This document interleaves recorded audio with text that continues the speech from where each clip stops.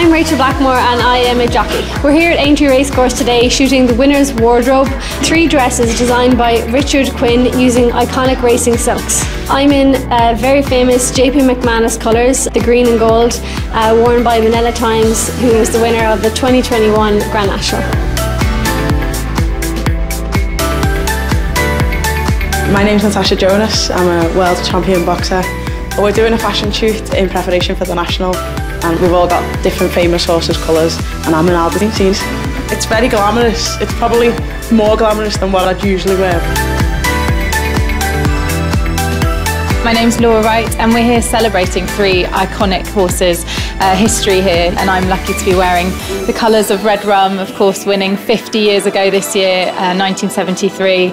Working with Natasha and Rachel, of course, I feel a little bit um, inferior to what they've achieved in their careers, to really strong female sportswomen really changing the game.